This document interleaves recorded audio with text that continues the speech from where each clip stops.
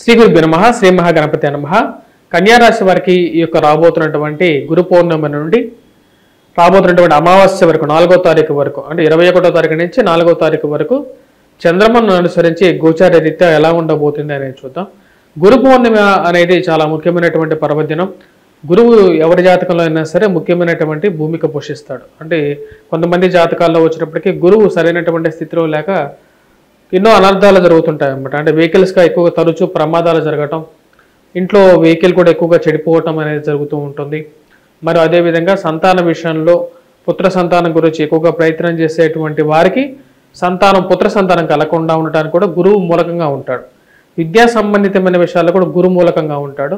Hotel business రంగంలో కూడా గురు మూలకం అనేది ఉంటుంది అనమాట హోటల్లో బిజినెస్ మీరు చేస్తున్నారు అండ్ రెస్టారెంట్ బిజినెస్ కానీ మీరు చేస్తున్నారు అంటే మీ జాతకంలో సక్సెస్ అయ్యారంటే గురువు మంచి స్థానంలో ఉన్నట్టుగానే చెప్పవచ్చు మరి అదేవిధంగా పుస్తక రంగంలో కానీ ముద్రణ రంగంలో కానీ గురుమూలకం అనేది చాలా ఉంటుంది అన్నమాట సక్సెస్ అనేది ఫైనాన్షియల్గా కూడా గురుమూలకంగా ఉంటుంది. అదేవిధంగా మాట్లాడే విధానంలో కూడా వాక్కు సిద్ధు అనమాట వాక్కు మాట్లాడే విధానంలో కూడా గురువు చాలా ముఖ్యమైనటువంటి పోషి పోషిస్తూ ఉంటాడు.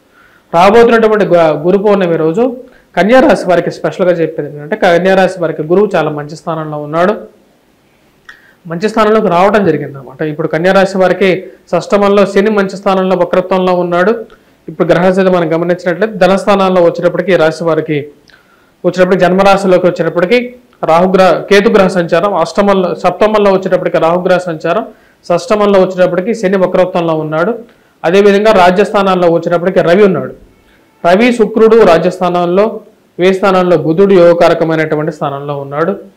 ఇటువంటి గ్రహస్థితి ఈ యొక్క పదిహేను రోజుల కాలంలో మనం చూసినట్లయితే గురువు మంచి స్థానంలోకి వచ్చాడు అనమాట అంటే భాగ్యస్థానంలో గురువు యోగకారకుడు కుజుడితో కలుస్తున్నాడు. కుజుడితో గురువుకు గురువు మిత్రత్వం అనేది ఉంది. మిత్రత్వం ఉన్నప్పటికీ కూడా భాగ్యస్థానంలో ఉన్నప్పుడు కుజుడు అంత యోగాన్ని ఇవ్వడు. కాకపోతే పరిస్థితి వచ్చేటప్పటికి ఈ రాశి వారికి అనుకూలంగా ఉంది. ఎందుకంటే లాభస్థానంలో రవిగ్రహ సంచారం అనేది అనుకూలమైనటువంటి పరిస్థితిలో ఉంది కాబట్టి ఉద్యోగ ప్రయత్న సంబంధితమైన విషయాల్లో అనుకూలత అనేది ఉంటుంది. వైవాహిక జీవితంలో మనస్పర్ధలు అనేవి ఎక్కువగా ఉంటాయి. కానీ పార్ట్నర్షిప్ బిజినెస్లో కూడా వీరు పెట్టేటప్పుడు కొంచెం జాగ్రత్తలు తీసుకొని పెట్టాలి. పార్ట్నర్షిప్ బిజినెస్లు అనేది వీరికి పనికిరావు. సప్తమంలో వచ్చేటప్పటికే రాహు ఉంటే పార్ట్నర్షిప్ బిజినెస్లో కొన్ని ఇష్యూస్ ఉంటాయి. జీవిత భాగస్వామితో ఎలాగైతే ఇష్యూస్ ఉన్నాయో అలాగే పార్ట్నర్షిప్ బిజినెస్లో కూడా దీని కొద్దిగా ప్రభావితం చూపిస్తుంటుంది. ట్రావెలింగ్ చేసేటప్పుడు కూడా కొంచెం జాగ్రత్తలు అనేవి కొన్ని జాగ్రత్తలు తీసుకొని వీరు ప్రయాణం చేయాలి. తండ్రి గారితో సయోధ్య అనేది కుదురుతుంది. తండ్రి గారితో పరపత్యాలు అనేవి తగ్గిపోతాయి. అదేవిధంగా సంతాన సంబంధితమైన విషయాల్లో కొంచెం అనుకూలత అనేది ఎక్కువగా పెరుగుతూ ఉంటుంది రాశి వారికి. తండ్రి తరపు ఆస్తి తండ్రి తరపు బంధువులతో వీరు కలిసి తిరగటం వారితో ఒక మంచి సయోధ్య అనేది కుదరటం అనేది ఒక మంచి ఇదిగా చెప్పచ్చు. అదేవిధంగా ఉన్నత స్థాయిలో ఉన్నటువంటి స్త్రీ పురుషులతో వీరికి ఒక కలయిక వారితో ఫ్రెండ్షిప్ అనేది వీరికి బాగా కలిసి వచ్చే విధంగా ఉంటుంది. వారితో సత్సంబంధాలు అనేది ఏర్పడగలిగితే లాభస్థానంలో ఉన్నటువంటి రవి పూర్తి యోగకారకుడు అన్నమాట. రవి కొన్ని స్థలాల్లోనే యోగిస్తూ ఉంటాడు. అటువంటి స్థితి వచ్చేటప్పటికి లాభస్థానంలో ఉన్నటువంటి రవి యొక్క స్థితిగతి. ఇది మంచి అనుకూలమైనటువంటి ఫలితాన్ని ఇవ్వగలుగుతుంది ఈ రాశి వారికి. అదేవిధంగా శుక్రుడు కూడా వచ్చేటప్పటికి ఇక ఈ రాశి వారికి మంచి అనుకూలమైనటువంటి ఫలితాలు ఇవ్వగలుగుతాడు. ముఖ్యంగా వచ్చేటప్పటికి శుక్రుడు యొక్క స్థితి మనం గమనించినట్లయితే శుక్రుడు ఈ రాశి వారికి రాజ్యస్థానంలో అనుకూలమైనటువంటి స్థితిలోనే ఉన్నాడు. వాటికన్నా రవికు మంచి అనుకూలమైనటువంటి ఫలితాలు ఈ రాశి వారికి పొందగలుగుతారు అన్నమాట అంటే ఈ రాశి వారికి లాభస్థానంలో రవి శుక్రులు కలయిక అదేవిధంగా వేయి స్థానంలో ఉన్నటువంటి బుధుడు. ఈ మూడు గ్రహాలు యోగకారకంగా ఉన్నాయి. అదేవిధంగా గురువు కూడా యోగకారకమైనటువంటి స్థితిలో ఉన్నాడు. విద్యా సంబంధితమైన విషయాల్లో ఎక్కువగా అనుకూలమైనటువంటి ఫలితాలు ఈ రాశి వారు పొందగలుగుతారు. పోటీ పరీక్షలు రాస్తున్నటువంటి స్త్రీ ఎవరైతే స్త్రీలు కానీ పురుషులు కానీ వారికి ఈ యొక్క పదిహేను రోజుల్లో ఎవరికైనా ఎగ్జామ్స్ రాస్తున్నట్లయితే వాళ్ళ సక్సెస్ రేట్ అనేది ఎక్కువగా ఉంటుంది లక్ ఫ్యాక్టర్ కూడా ఇప్పుడు బాగా కలిసి వచ్చే విధంగా ఉంది. భాగ్యస్థానంలో ఉన్నటువంటి గురువు వచ్చేటప్పటికి గురువు యొక్క దృష్టి గురువు యొక్క త్రిపాద దృష్టి వచ్చేటప్పటికి శుభాన్ని ఇస్తుంది. అదేవిధంగా శని యొక్క త్రిపాద దృష్టి వ్యతిరేకమైనటువంటి ఫలితాలు కూడా ఇస్తుంది. ఈ రాశి వారికి వచ్చేటప్పటికి నూతన గృహ కొనుగోలు వాహన కొనుగోలు సంబంధితమైన విషయాల్లో కూడా గురువు యొక్క శుభ దృష్టి అనేది యోగిస్తున్నది. భాగ్యస్థానంలో ఉన్నటువంటి గురువు పంచమాన్ని చూస్తాడు అదేవిధంగా జన్మరాశిని చూస్తాడు అనమాట జన్మరాశి చూసినప్పుడు ఆరోగ్యంలో ద సెల్ఫ్ కాన్ఫిడెన్స్ లెవెల్స్ అనేవి ఎక్కువగా ఉంటాయి. అదేవిధంగా తను చూసే ఇంకో దృష్టి వచ్చేటప్పటికి భాగ్య దృష్టి ఉంటుంది. భాగ్య దృష్టితో చూసినప్పుడు వచ్చేటప్పటికి వాహన కొనుగోలులో అనుకూలమైనటువంటి ఫలితాలు కూడా మళ్ళీ రికవరీ చేసుకోగలుగుతారు. కానీ ఈ రాశి వారికి వచ్చినప్పటికి సప్తమంలో ఉన్నటువంటి రాహువు జన్మరాశిలో ఉన్నటువంటి కేతు కొంచెం ప్రతిబంధకమైనటువంటి రిజల్ట్స్ ఇస్తారు. అది ఇందాక చెప్పినట్టుగా నేను వైవాహిక జీవితంలో కొన్ని కష్ట నష్టాలను కూడా ఇస్తారు. మరి అదేవిధంగా బిజినెస్ పరంగా స్పెక్యులేషన్స్ రొటేషన్స్ అనేవి బాగా అనుకూలమైనటువంటి స్థితిలోనే ఉండగలుగుతాయి.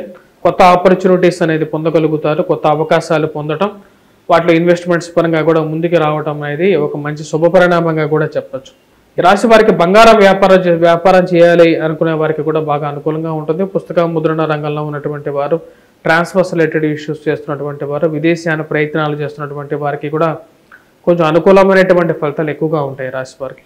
కానీ ఇన్వెస్ట్మెంట్స్ పరంగా ఈ రాశి వారికి వచ్చినప్పటికీ కొంచెం జాగ్రత్తలు తీసుకొని ముందుకు వెళ్ళాలి. భాగ్యస్థానంలో గురువుతో పాటు కుజుడు ఉండటం వల్ల అప్పుడప్పుడు బ్యా లక్ ఫ్యాక్టర్లో రివర్స్ కూడా అవుతూ ఉంటుంది. అనుకున్నంత స్థాయిలో రాణిస్తూ రాణిస్తూ సడన్గా ఒక్కొక్కసారి బ్యాడ్ లక్. ఎందుకంటే భాగ్యస్థానంలో గురువు ఉన్నప్పుడు గురువుతో పాటు కుజుడు ఉన్నప్పుడు ఏంటంటే భాగ్యం అంటే ఏంటి? భాగ్యం అంటే లక్.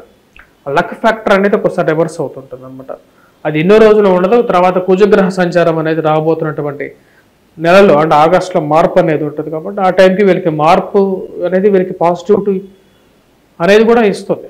అంటే రాబోతున్నటువంటి సెప్టెంబర్ తర్వాత వీరికి బాగా అనుకూలమైనటువంటి ఫలితాలు ఎక్కువగా కూడా పొందడం జరుగుతుంది. ఈ రాశి వారికి వచ్చేటప్పటికి వివాహ ప్రయత్న సంబంధితమైన విషయాల్లో సానుకూల పడతాయి రెండో వారంలో ఎక్కువగా అవకాశాలు అనేవి గోచరిస్తూ ఉన్నాయి. ప్రేమ సంబంధితమైన వ్యవహారాలులో కొద్ది జాగ్రత్తలు అనేవి తీసుకోవాలి. ఎదుటివారి మాయ మాటలను నమ్మి మోసపోవడానికి కూడా ఎక్కువగా అవకాశం అనేది గోచరిస్తున్నది. దొంగ స్వామీజీలను ఎక్కువగా నమ్మవాకండి. మోసపూరితమైనటువంటి మాటలకి దూరంగా ఉండటానికి ఎక్కువగా ప్రయత్నం చేయండి. మీరు చేసుకోవాల్సినటువంటి పరిహారాల్లో ముఖ్యంగా రాహుగ్రహ ప్రభావం వల్ల ఈ రాశి వారు వచ్చినప్పటికీ దుర్గాదేవిని ఎక్కువగా పూజించినట్లయితే సానుకూలమైనటువంటి ఫలితాలు ఎక్కువగా పొందగలుగుతారు. జన్మరాశిలో కేతుగ్రహ సంచారం ఉంది కాబట్టి రాశి వారికి వినాయకుడిని ఎక్కువగా పూజించినట్లయితే సరిపోతుంది. మరి అదేవిధంగా ఈ రాశి వారు మిగతా గ్రహాల గురించి మనం మాట్లాడినట్లయితే స్థితిగతి రీత్యా ఈ యొక్క టైంలో రాబోతున్నటువంటి ఈ యొక్క పదిహేను రోజుల కాలంలో సుబ్రహ్మణ్యేశ్వర స్వామి ఆరాధన కూడా వీరికి మంచి అను అనుకూలమైనటువంటి ఫలితాలు ఇస్తుంది. అదేవిధంగా గురుగ్రహ మంత్ర జపం అనేది విద్యార్థులు గురు పౌర్ణమి రోజు ముఖ్యంగా వచ్చినప్పటికి పూజించాల్సినది ఆది శంకరాచార్యులు గారని అదేవిధంగా దత్తాత్రేయుడిని ఎందుకంటే మూడు ముగ్గురు యొక్క ప్రతిరూపం. అంటే ముగ్గురు వేద పురుషులు అంటే మా ముగ్గురు దేవుళ్ళ యొక్క ప్రతిరూపమైనటువంటి దత్తాత్రేయుడు అన్నమాట. అంటే శివుడు విష్ణువు అదేవిధంగా బ్రహ్మ యొక్క కలయికతో పుట్టినటువంటి దత్తాత్రేయుడిని ఎక్కువగా ఆరాధించండి. చాలా కష్టాలకి పరిపూర్ణంగా విముక్తి అనేది దత్త పారాయణంలోనే ఉంటుందన్నమాట. అంటే కాబట్టి మీరు దత్త చరిత్ర పారాయణం చేయటం అనేది మీకు ఎంతో శోభనిస్తుంది ఈ రాశి వారికి. స్వస్తి.